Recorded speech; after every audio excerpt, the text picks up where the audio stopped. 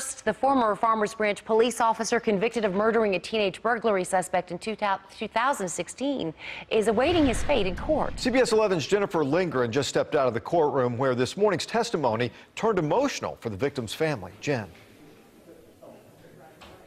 Ken Johnson is on the stand in his own defense right now, but it is packed inside the courtroom. His supporters and loved ones are on one side, the family of Jose Cruz on the other.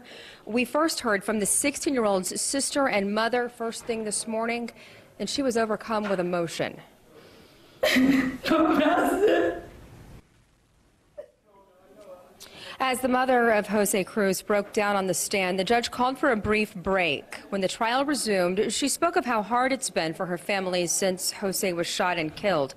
She told the jurors she's not mad at all police officers, just the officer who killed her son.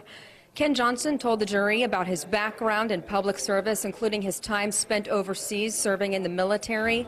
Last month, the jury found Johnson guilty for the March 2016 murder of Jose Cruz and the shooting of his teenage friend after he suspected them of stealing from a vehicle.